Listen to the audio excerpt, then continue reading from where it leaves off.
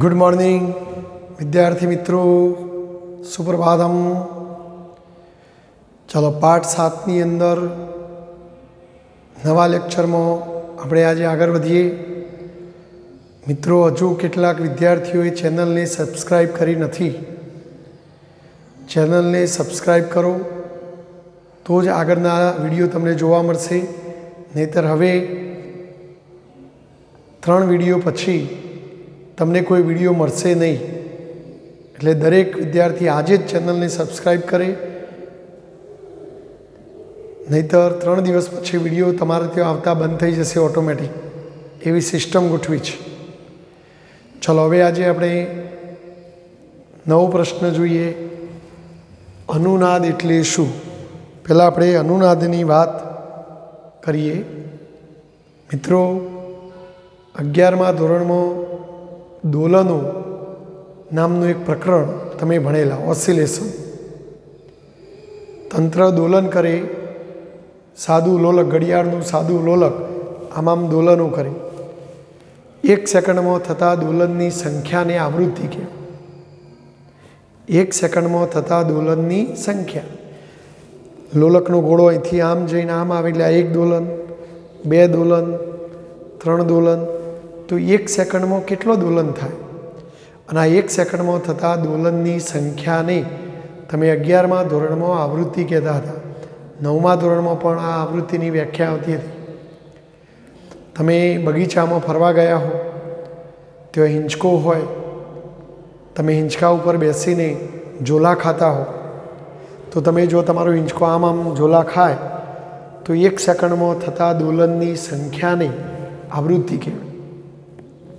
આમ, કોઈ પણ તંત્ર જે દોલનો કરવા સમર્થ હોય, એ તંત્ર કોઈકને કોઈક નિશ્ચિત આવૃત્તિથી દોલનો કરવાની ક્ષમતા ધરાવતું હોય છે. દરેક દોલિત તંત્ર, દરેક દોલિત તંત્ર દોલનો કરી શકે તેવું તંત્ર કોઈ નિશ્ચિત આવૃત્તિથી દોલન કરવાની ક્ષમતા ધરાવી શકે છે. અને આવી નિશ્ચિત આવૃત્તિને તે તંત્રની પ્રાકૃતિક આવૃત્તિ કહેવાય. ધારો કે તમે ઇંચકો ફાસ્ટ ખાતા હો, તો એક સેકન્ડમાં ધારો કે ત્રણ દોલનો કરતા હો, તો એ તમારા તંત્રના દોલનની આવૃત્તિ ત્રણ કહેવાય. હવે ઘણા તંત્રો એવા હોય છે જે ઓટોમેટિક ચાલુ રહે છે, કરતા હોય છે. અને ઘણા તંત્રો એવા હોય છે કે જે કોઈ બાહ્ય ઊર્જા સ્ત્રોતથી ચાલતા હોય છે.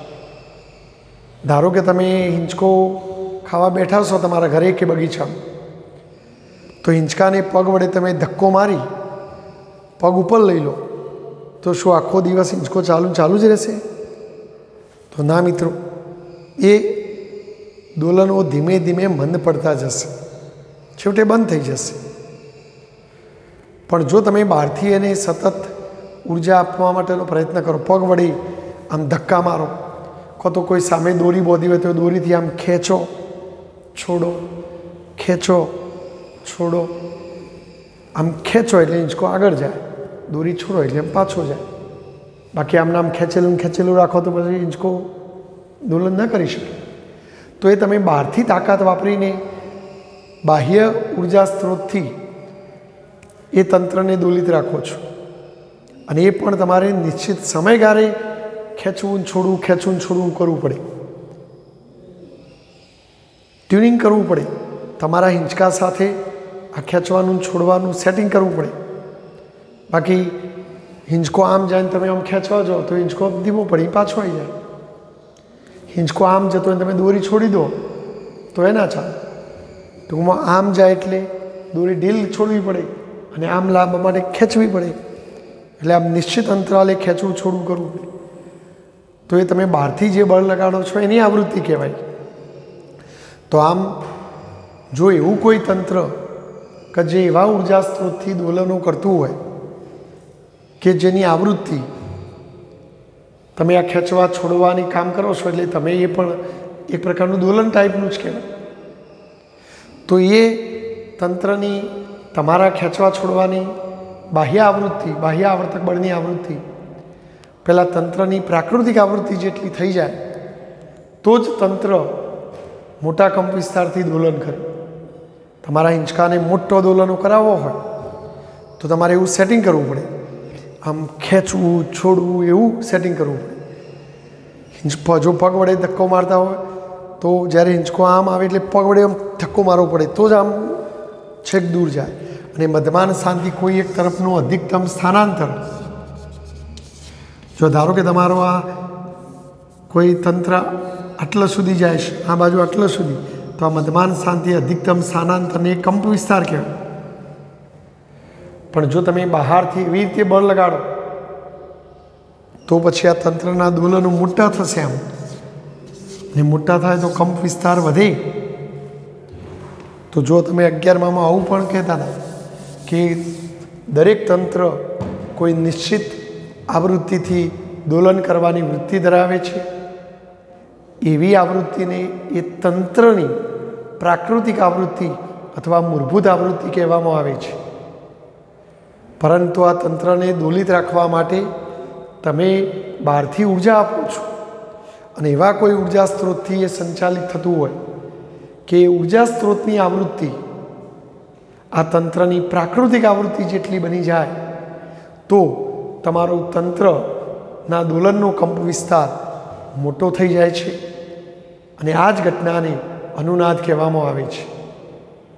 દાખલા તરીકે હિંચકા ઉપર ઝોલા ખાતું બાળક, લોલકની માફક આગળ, પાછળ આગળ, પાછળ દોલનો કરતું હોય, માટે આ હિંચકાની કંઈક પ્રાકૃતિક આવૃત્તિ હોય મિત્રો. જો આ બાળક દોરીને નિયમિત સમય અંતરાલે એવી રીતે ખેંચે અને છોડે કે જેથી આ ખેંચવા છોડવાની આવૃત્તિ, પેલી હિંચકાની પ્રાકૃતિક આવૃત્તિના જેટલી બની જાય કે એની નજીકની બની જાય, એક્ઝેક્ટ એટલી બને કહો તો એની નજીકની બની જાય, તો હિંચકો મોટા કંપ વિસ્તારથી દોલનો કરે છે. અને આ ઘટનાને તમે અગિયારમા ધોરણમાં અનુનાદ કહેતા તંત્રની પ્રાકૃતિક આવૃત્તિ અને બાહ્ય આવર્તક બળની આવૃત્તિ સમાન થાય, તો તંત્રનો કંપ વિસ્તાર મોટો બની જાય છે. આ ઘટનાને અનુનાદ કહે છે. જો આપણા એલસીઆર એસી પરિપથમાં પણ આવી એક લાક્ષણિકતા અનુનાદની જોવા મળે છે. એલસીઆર એસી શ્રેણી પરિપથમાં પણ આવી અનુનાદની ઘટના શક્ય છે. જો મિત્રો, આપણે એલસીઆર એસી શ્રેણી પરિપથ યાદ કરો. ઇન્ડક્ટર એલ, કેપેસિટર સી, અવરોધ આર. ધારો કે આપણે શ્રેણીમાં જોડી અને બહારથી એને દુલિત કરવા માટે વિદ્યુત ઉર્જાનો પુરવઠો પૂરો પાડવા માટે લાગુ પાડેલી એસી વોલ્ટેજ વી બરાબર V M sine omega T જો આ ઓમેગાને તમે કોણીય આવૃત્તિ જનરેટરમાં જ્યારે બે ચુંબકોની વચ્ચે ગૂંચળું કે બે ગૂંચળોની વચ્ચે ચુંબક ફરતું હોય, તો એક સેકન્ડમાં થતા પરિભ્રમણની સંખ્યાની એની આવૃત્તિ કહેવાય અને આવૃત્તિને ટુ પાઈએ ગુણો એટલે કોણી આવૃત્તિ મળે? આ તમે જો ગૂંચળું ધીમે ધીમે ફરે, તો એ પ્રમાણે ઓમેગા ઓછો મળે. ફાસ્ટ ફરે, તો ઓમેગા વધી જાય. તો આ જો બાહ્ય સ્ત્રોત કહેવાય, અને સ્ત્રોતની આવૃત્તિ તમે બદલી શકો. જો આપણે ધારો કે તમને સમજાવવા માટે હું કહું કે આ પરિપથમાં જોડેલ ઇન્ડક્ટર બે હેનરીનું છે. ધારો કે કેપેસિટર ઝીરો પોઈન્ટ ઝીરો બે એકમનું છે. તો આવા પરિપથમાં મહત્તમ પ્રવાહનું સૂત્ર તમે ભણી ગયા. યાદ કરો આઈએમ બરાબર વીએમ અપોન અવરોધ. આઈ બરાબર વી અપોન અવરોધ. આપણે એલસીઆર પરિપથમાં અવરોધને ઝેડ કહીએ છીએ ઇમ્પિડન્સ ઇમ્પિડન્સ કહીએ છીએ.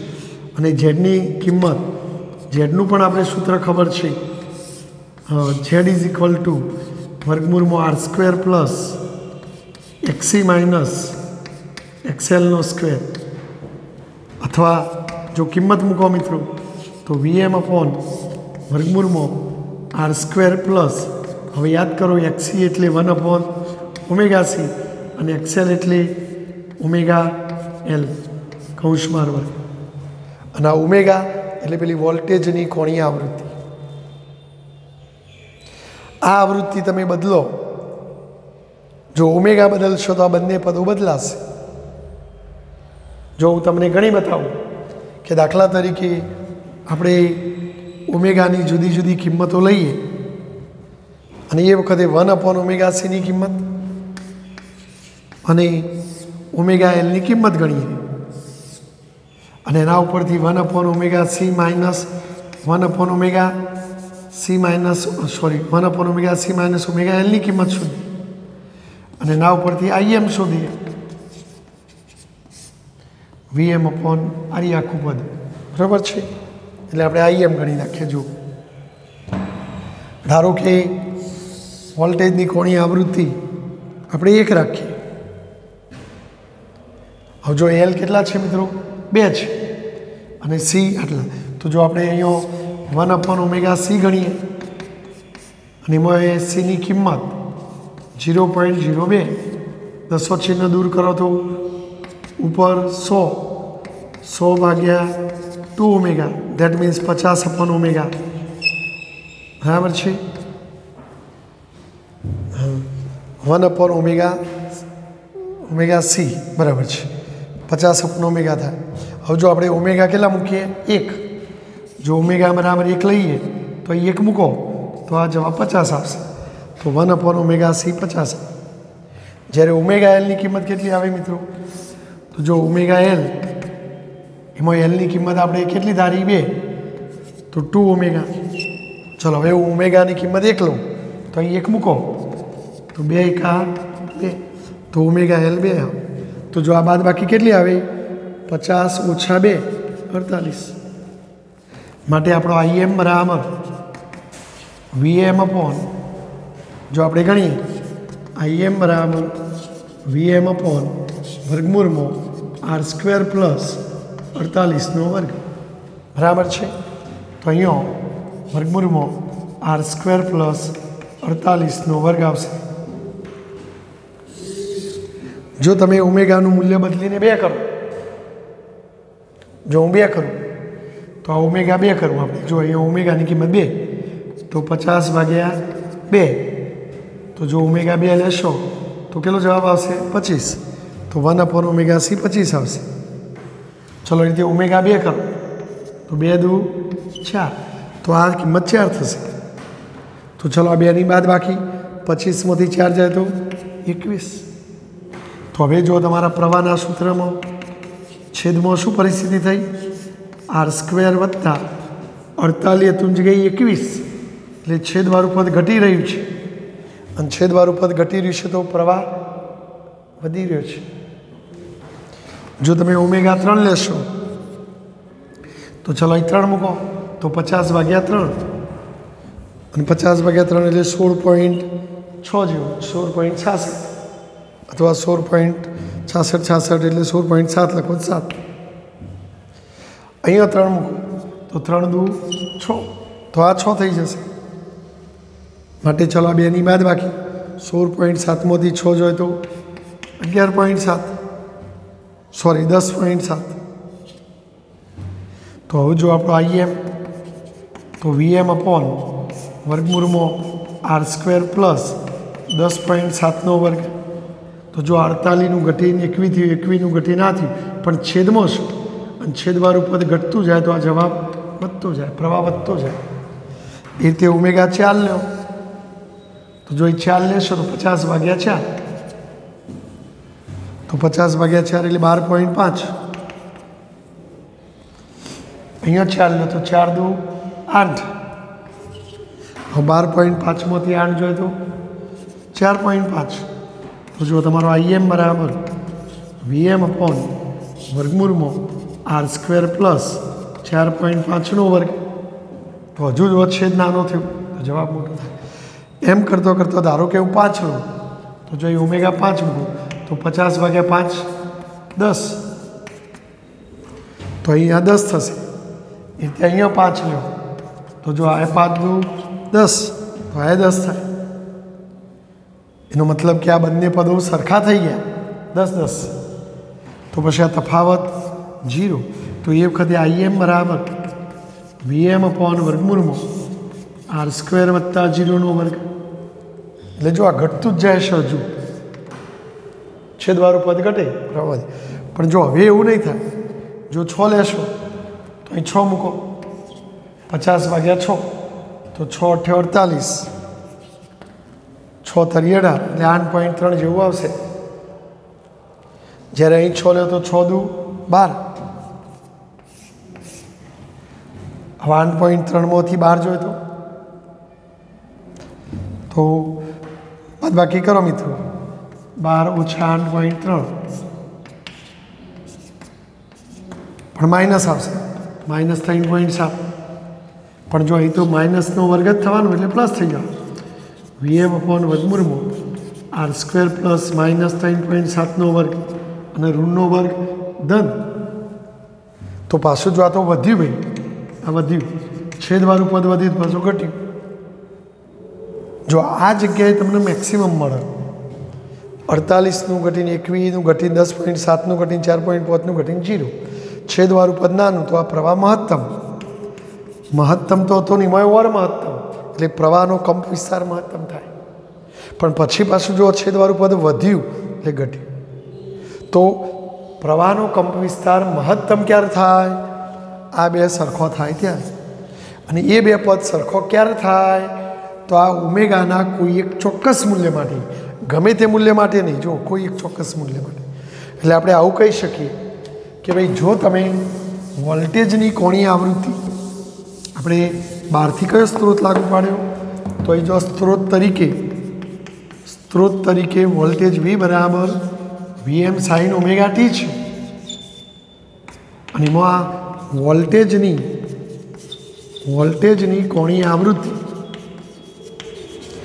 ઓમેગા બદલતો બદલતો ઓમેગાનું કોઈ એક એવું મૂલ્ય મળે કે જેના માટે પેલું વન અપોન ઓમેગા સીવાળું પદ અને ઓમેગા એલ વાળું પદ સમાન થાય. ત્યારે આપણા પ્રવાહનો કંપ વિસ્તાર, પ્રવાહનો કંપ વિસ્તાર કંપ વિસ્તાર એટલે મહત્તમ મૂલ્ય આઈએમ વધીને કેવો બનશે? મહત્તમ. પ્રવાહનો કંપ વિસ્તાર. મહત્તમ બને છે. આ ઘટનાને આ ઘટનાને એલસીઆર શ્રેણી એસી પરિપથમાં અનુનાદ કહે છે. જેમ પેલામાં દોલનનો કંપ વિસ્તાર મહત્તમ બનતો. અહીં દોલનના બદલે પ્રવાહ વહી રહ્યો છે સર્કિટમાં તો એ પ્રવાહનો કંપ વિસ્તાર મહત્તમ બને છે. માટે આ ઘટનાને એલસીઆર શ્રેણી પરિપથમાં અનુનાદની ઘટના તરીકે ઓળખવામાં આવે છે. પણ એ માટેની શરત કઈ? આ બે સરખો થવો જોઈએ.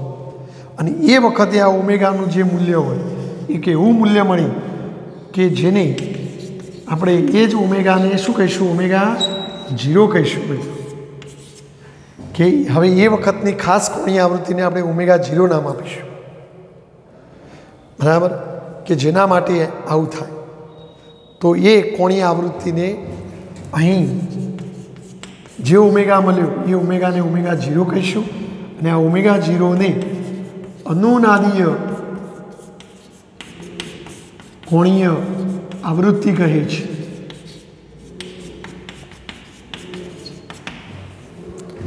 આ વખતે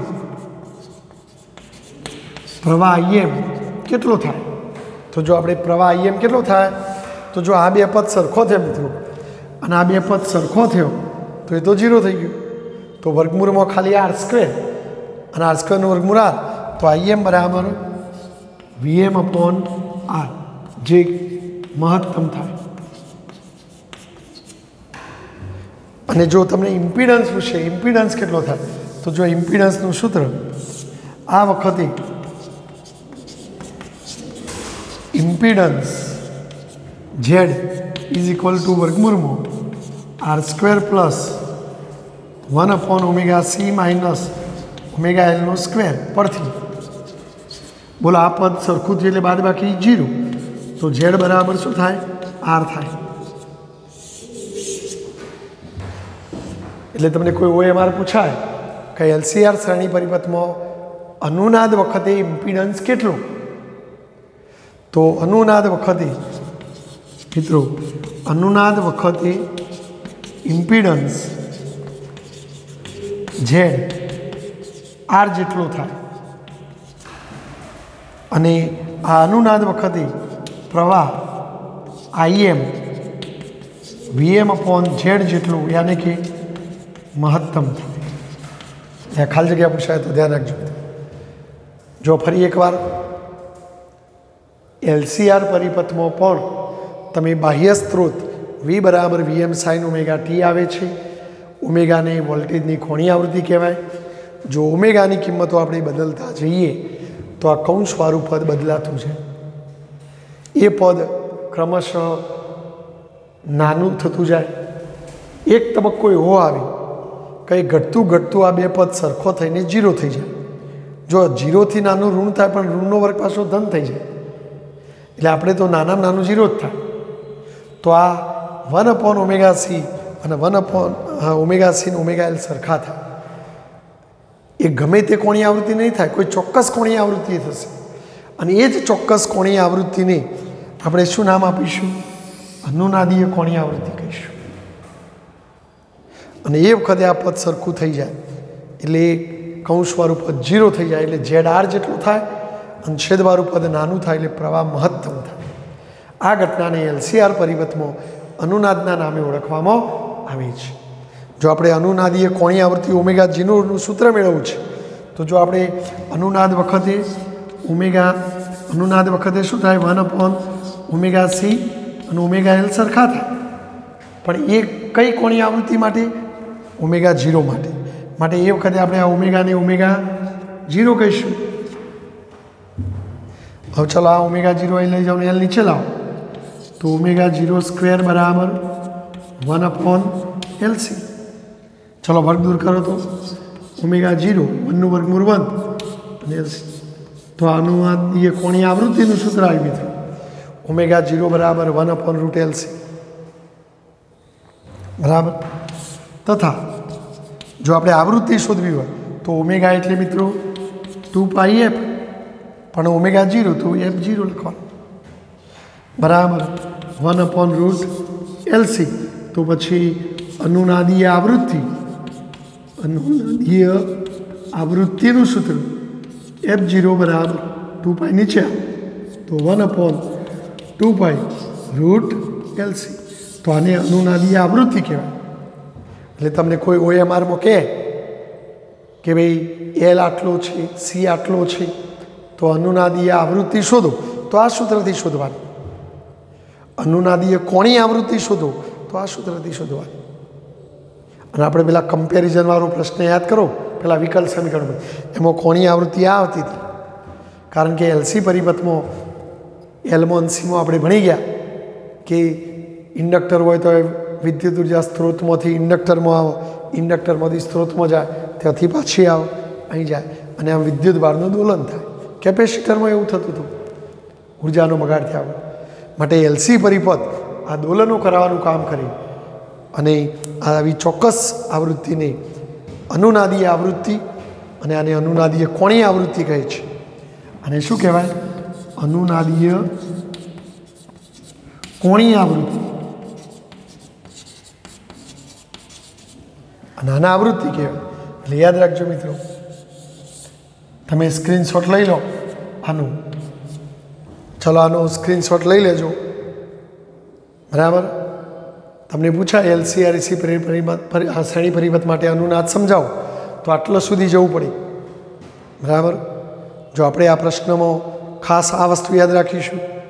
ઓમેગા બદલતો બદલતો જ્યારે આ બે સરખો થઈ જાય. જો આ વન અપોન ઓમેગા સી એટલે શું? Capacitive reactance. આ ઇન્ડક્ટિવ રિએક્ટન્સ.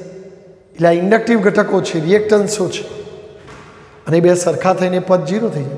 એટલે અનુનાદ માટેની શરત લખવી લખાય એમના ઇન્ડક્ટિવ ઘટકો રિએક્ટન્સ શૂન્ય થઈ જાય. ઇન્ડક્ટિવ રિએક્ટન્સ કેપેસિટિવ રિએક્ટન્સ એટલે રિએક્ટિવ ઘટક શૂન્ય થાય.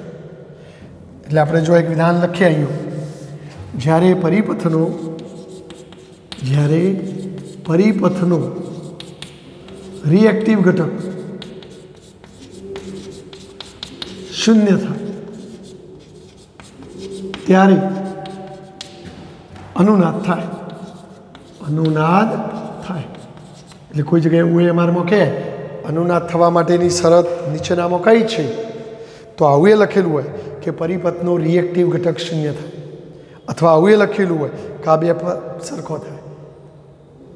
અથવા આવું લખેલું કે ઓમેગા જીરો બરાબર આવું થાય ત્યારે અનુનાદ થાય. તો બોલો, ખ્યાલ આવી ગયો?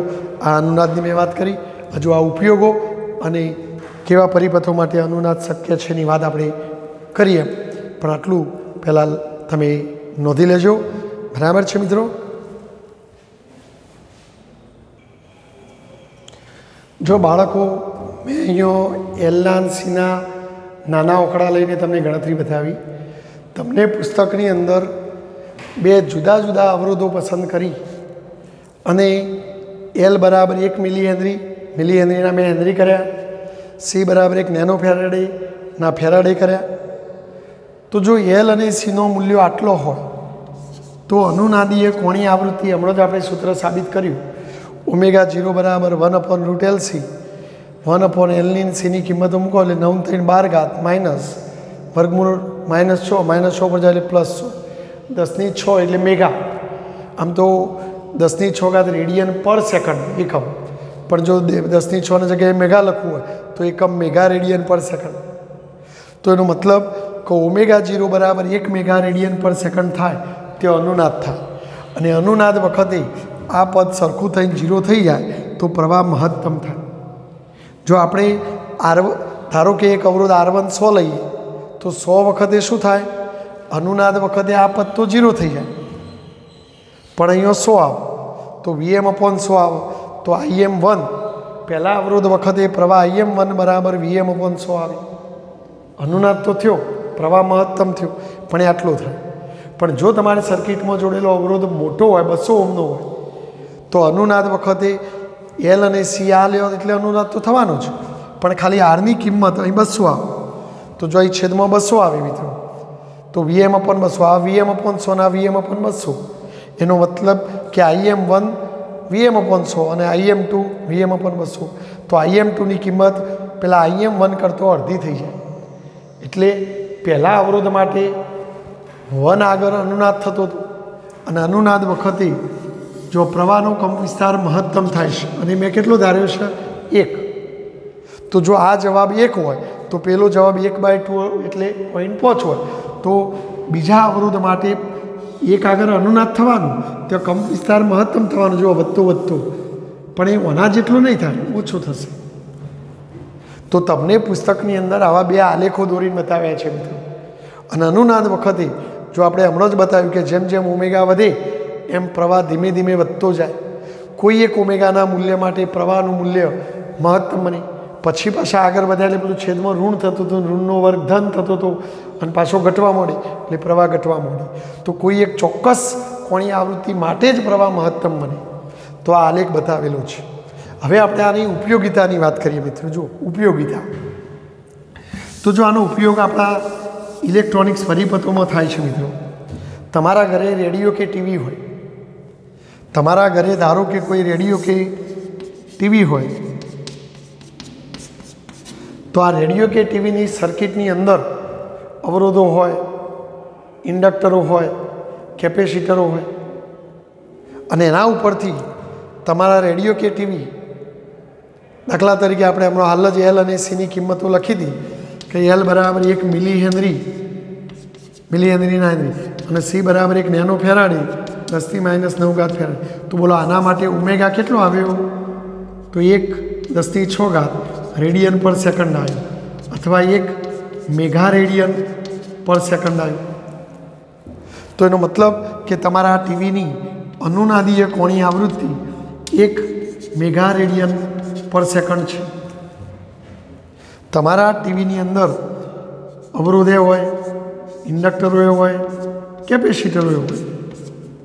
માટે આમના કિંમતો ગણીએ તો ધારો કે આ તમારા ટીવી કે રેડિયોની કોણી આવૃત્તિ આટલી જ આને એની પ્રાકૃતિક કોણી આવૃત્તિ કહેવાય.